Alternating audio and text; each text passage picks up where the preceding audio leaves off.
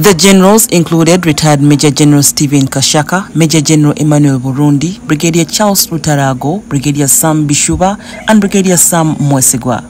Others were Colonel Charles Barija and Brigadier Francis Kashaka and other UPDF veterans who served in the 1986 guerrilla war. The move to endorse President Museveni as a sole candidate for 2026 was raised by Philip Kamugungunu, the founding chairman LC5 for Kiruhura district, at the award ceremony that was organized by Kiruhura Young Revolutionary Cadres. The function for awarding individuals that have contributed to the growth and development of Kiruhura district was presided over by Major General Kahinda Otafiire, the Minister of Internal Affairs.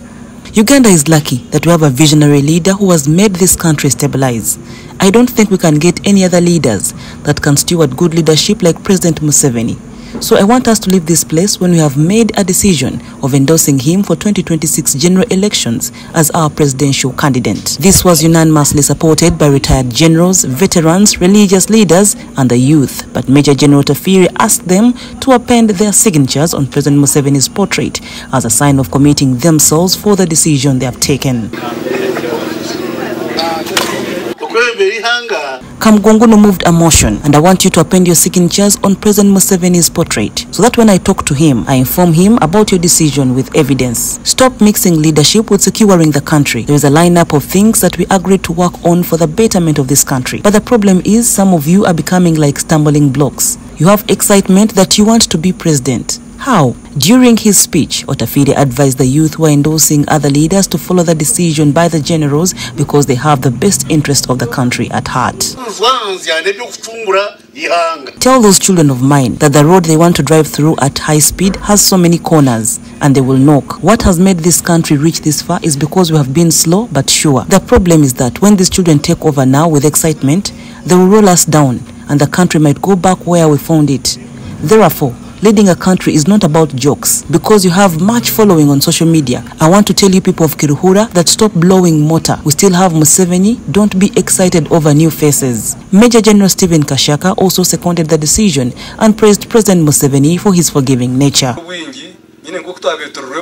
President Museveni is like a parent who forgives whoever tries to divert from the main track. If it was not for the president, we would not be here because we are big-headed, including Otafiire right away from Fronasa before NRA. But President Museveni has proved to us that he is a uniting leader and we shall give him support. Giovanni Renduru, the woman member of parliament for Kiruhura district, noted that all leaders that have contributed positively to the development of their community should be recognized and awarded.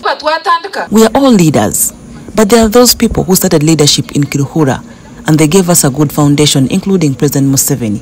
So we cannot forget that this is why they have decided to endorse President Museveni to keep the steering of our bus tight. The endorsement of President Museveni comes at a time when another section, especially that of the youth within the NRM, has intensified efforts to front First Son General Muhoozi Kainerugaba as their candidate for the 2026 presidential elections. Report compiled by Adolf Ayoreka for the news.